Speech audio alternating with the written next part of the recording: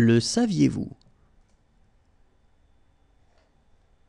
C'est en moins 52 que Vercingétorix, chef des Gaulois, capitule devant Jules César.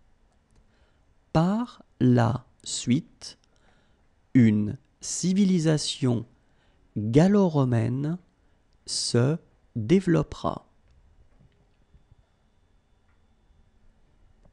C'est en moins 52 que Vercingétorix, chef des Gaulois, capitule devant Jules César.